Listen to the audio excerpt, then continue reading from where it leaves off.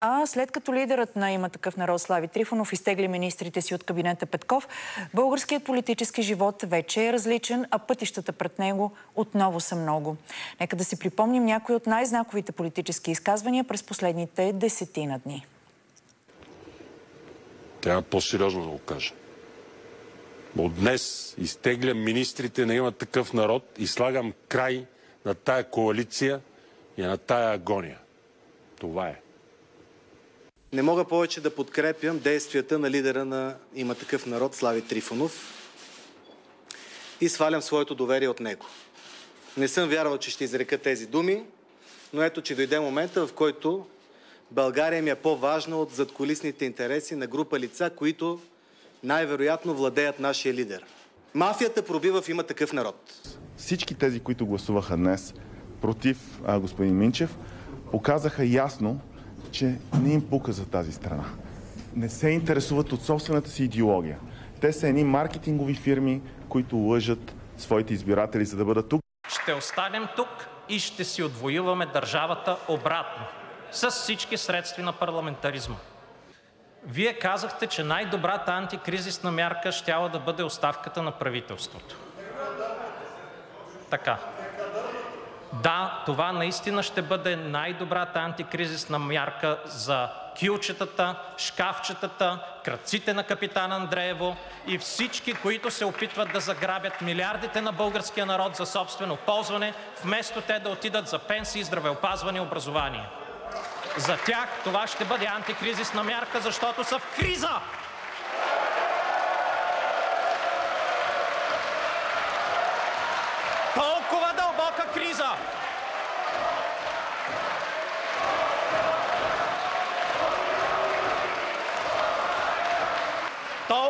Дълбока криза, господин Карадая, че вие сте готови да се прегърнете с възраждане, за да свалите това правителство. Толкова е дълбока кризата за хората, които ви дърпат конците и си седят в сараите и оттам се опитват да управляват държавата. Днес някои случайни минувачи да ползват името на господин Доган, ей, така защело, нещело, господин Председател, малко не кореспондира с историята, нито с тяхната значимост, независимо какво виждат в личното си огледало. Обаче, признанието, което направи сега ето този хубав човек, че е функция на задколисието и мафията. Да, такива сте. Точно по този начин дойдохте и влязохте в политиката, като функция на задколисието и мафията.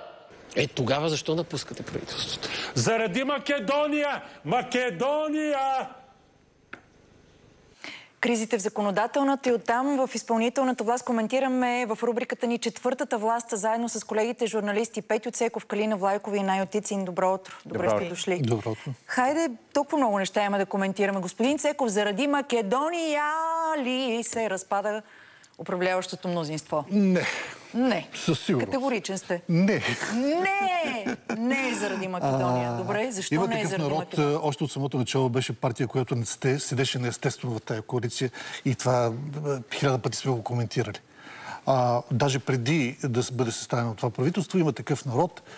Беше във война с Продължаваме промяната. Тази война беше тежка, продължи цяло лято, продължи два вида избори. А, така че долу-горе не беше там, там естественото място на има такъв народ. Нещо се случи след създаването на това правителство през последните 6 месеца.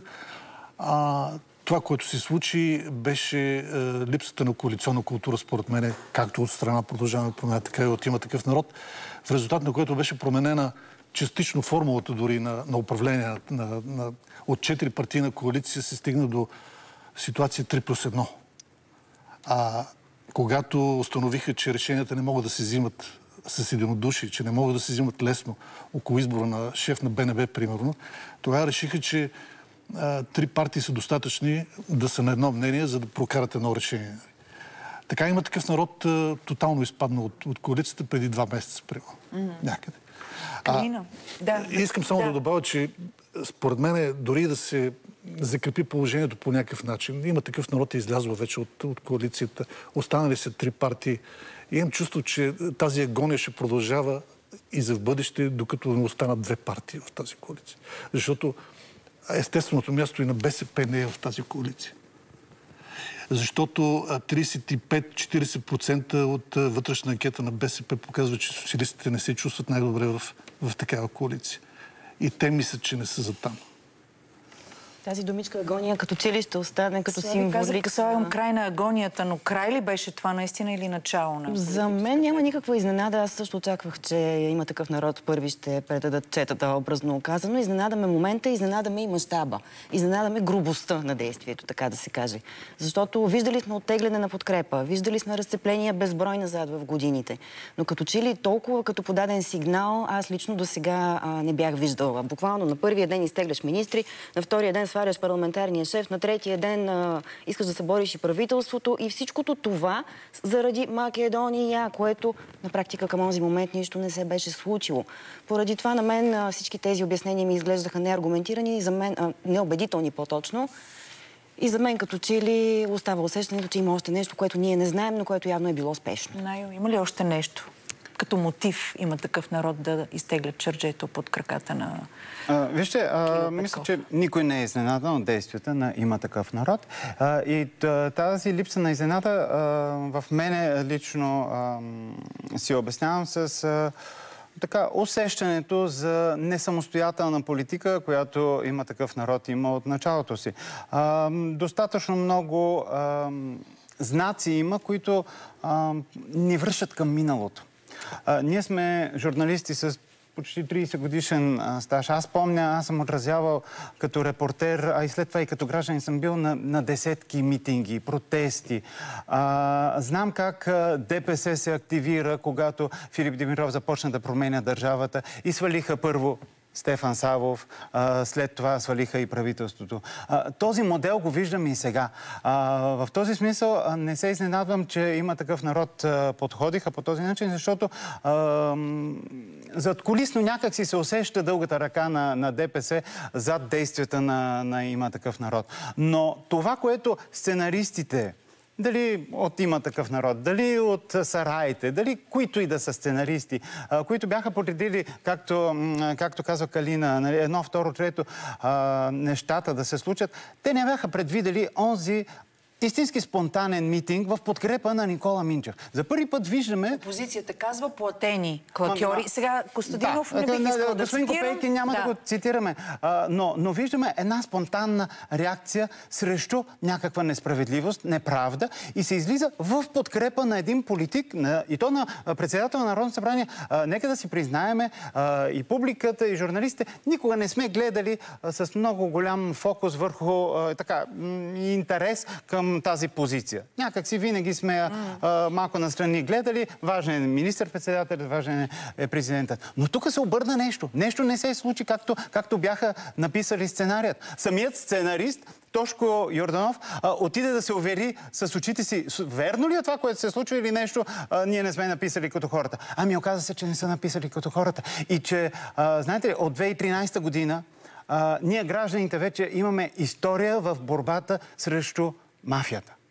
И, и, това ще, и това е вече един рефлекс, който не може да бъде спрян. И когато а, хората видят една несправедливост, а, едно прекрачване на, на търпимостта от страна на мафията, просто спонтанно се излиза. Без автобуси, без да се плаща на никого. Просто излизат, защото искат да изразят Сега, своето всички мнение. Всички ви тримата, най-доколкото помня по-скоро ти към Министерски съвет, но Калина и Петю със сигурност а, години опит в отразяването първо на парламентарния живот и сетне, разбира се, анализа на този парламентарен живот, но какво видяхме до тук през последните седмици? Бой или, хайде, опит за бой.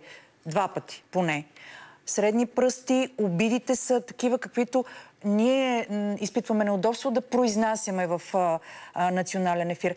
Петю, краят ли е това на 47-то Народно събрание? Свърши ли всичко?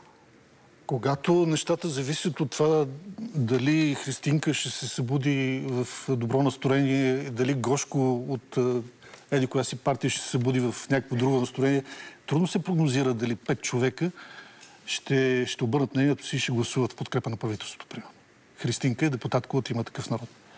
А когато не знаеш министър-председателя в коя квартира ще убеждава хора, също е трудно да прогнозираш дали ще падне правителството. Но чисто математически, да, това правителство си отива, отива си и парламента заедно с него, защото ние и с и Калина и с Найо сме виждали депутати, които с, с гипс пристигат от болница, свалили с системата, за да могат да гласуват вод на недоверие, защото това е изключително важно за партията. Така че със сигурност 239-240 човека пак ще бъдат в зала и ще гласуват правилно. Калина, това ли... Друго си мислех, че ти спомена разправиите, средните пръсти, боищата и така нататък, не е като да не сме ги виждали в парламента. На мен нещо друго ми направи много неприятно впечатление, докато течаха тези надавания и противоборства през последните дни. И то е, че чухме за лекетата, чухме за мекеретата, чухме за брокерите, за тръбите за по 1 милион, 2 милиона, 5 милиона, Газпром, всичко. И някъде в целият този ужасен разговор се изгуби разговора за България. Окей, ние правим едни неща, ние се мразим, ние се цепим, ние напускаме, ние сваляме. А какво правим по-нататък? Къде остава държавата? В каква посока поема? Какво ми предлагате? И, и всъщност от цялото това нещо, според мен, то се усеща и от избирателите. Много и за това остави едно усещане за нечистоплътност, която да се върна към това, което най каза. Аз даже не съм сигурна, че този протест беше толкова в подкрепа на Кирил Петков, Никола Минчев или която и да било личност. Да, всеки протест има нужда от своите там фигури, които да застанат отпред. Но той беше точно заради това усещане за нечистоплътност, за подлост, което се усеща от всички а, хора с нормална ценностна система, според мен. Най-омразим се, обиждаме се, ритаме се, побутваме си и, и утре какво правим? Можем ли да бъдем заедно? Извинявайте, тук излиза малко от политическия разговор, но този разговор не е чисто политически. А, трябва да бъдем заедно, защото живеем на една територия трябва да се понасяме. Иначе се стига до гражданска война. Ако, ако не можем да се понасяме и с думи някакси да се обличаваме. Аз точно това питам, дали това, защото нали, руснаците имат един хубав, една хубава поговорка. Глуповия пример е заразителен. Нали? Дурной пример заразителни. А, така, ако те там така се отнасят, депутатите, елита, политически елит, какво остава за нали, нас, ходещите граждани? На нас Това значи, става... всеки един момент ние можем да се хванем за, за вратовете. Всеки аз, ако не те хареса, мога да те дръпна за ревера или да ти ударя един шамар и това да се възприеме като норма. Е, това, това не е. е новото нормално. Точно така. Да, вижте, е, има една, една такава категорическа е, етична норма. Не прави това на другият, което не искаш той да ти направи на теб. Това е, според мен, е в базата на, на човешките взаимоотношения. А, и, и, например, а, в, в, в капана на, а, на неспазването на тези етически норми, а, примерно а, ще паднат, а, паднаха. А, примерно, гледам сега а, а, Бойко Борисов. Това е един оплашен човек. А, защото той след пет дена трябва да отиде а, на срещата на Европейската народна партия преди срещата на Европейския съюз. И той трябва да обясни на своите партньори, съпартийци в Европейското голямо семейство, как така гласува заедно с проруска наци партия в парламента, за да в момент на война, когато цяла Европа е застанала на страната на Украина а, и осъжда а, войната на Путин в Украина, как Бойко Борисов ще обясни, че гласува с проруската партия в България, за да свалят прозападното правителство? Ето това е голям проблем, който Бойко Борисов трябва да обяснява. А няма вече госпожа Меркел, която да му, да му е гръб.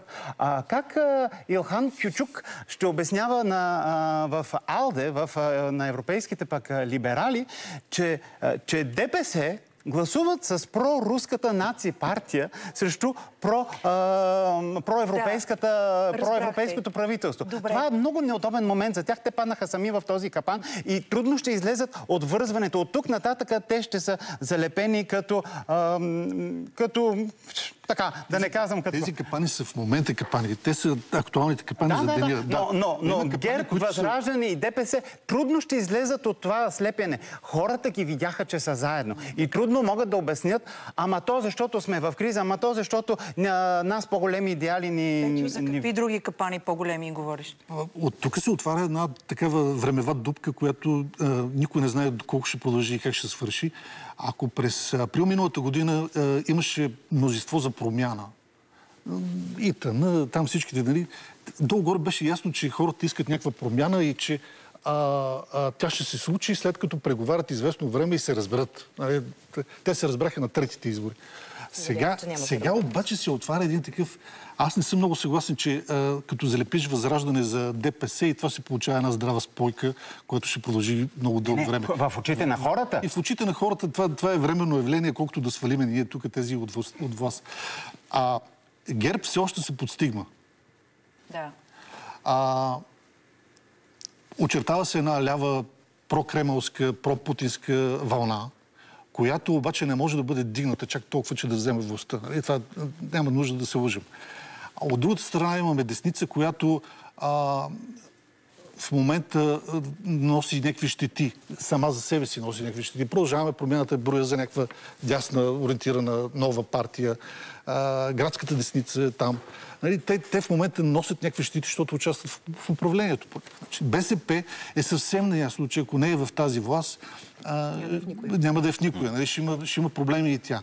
Очертава се едно такова раздробяване на политическия пейзаж, което трудно вече ще го залепиме нали, с, с някакви изкуствени а, коалиции, като тази, която е в момента, четворната. Да, и тук, впрочем, наистина аз също мисля, че в момента условията са ужасни за такава криза, защото нито има някаква фрапантна социология, нито има някакви улични метежи срещу властта, нито има прясно изгубени избори, каквито случаи сме имали назад във времето. В този смисъл наистина изглежда много нерационална тази криза Тогава, и Калина, изкуствено въпреки това след сряда на къде приемаме с голяма вероятност, Нещо че в сряда може би изречения ми се иска да И кажа. какво след? Нещо друго ми се Да. иска да кажа, което ми направи много лошо впечатление вчера и което допринася за това усещане за разпад, за което и ти говориш. И това е позицията на президента от вчера.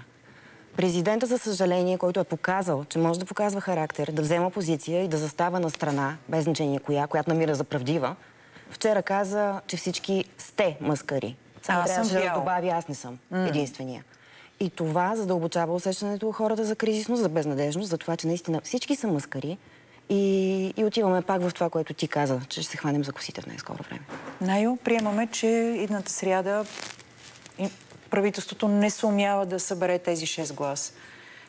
Какво следва тук на сет? Невъзможен ли е според те парламент, а, ново правителство в рамките на, на това Народно събрание? Вчера видяхме от трибуната на обществената телевизия, самия Кирил Петков каза, аз съм склонен да отстъпя премиерското място на свой колега от Продължаваме промяната. За мен това не е само цел.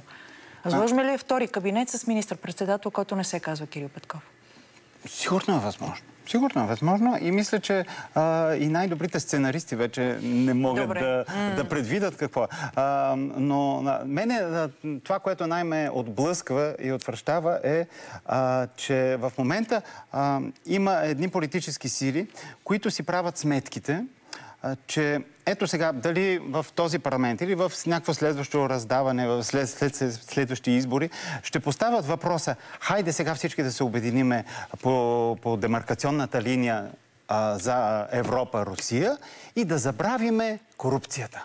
Ето това много ме притеснява. Защото това е, е, това е следващия сценарий на задкулисието, да кажем. Това е следващия сценарий на, на партии, ръководство на партии, на, примерно на ГЕРБ, на ДПС. Те, те това чакат. Да падне този момент, в който ще трябва да прилапат и да призоват. Прекъсвам те. Говорихме за президента Румен Радев. Нека да го чуем.